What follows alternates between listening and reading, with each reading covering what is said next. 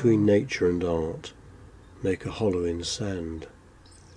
Narrative, visual form, repetition, give take. Surround this place, avoid extremes.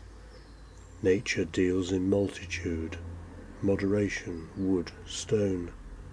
Without rhetoricals, the thing to be, crossed and lashed, contains no mine. Metal will not run within the sound of bell.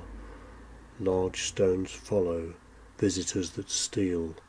The art of laying ghosts, book and horsewhip, bodies lay, in habit, rough edge ready, brought back at night, culture, economy, space, a soundtrack where they lie, sycophants and sharks, in shallow water, once malleable, now dried hard.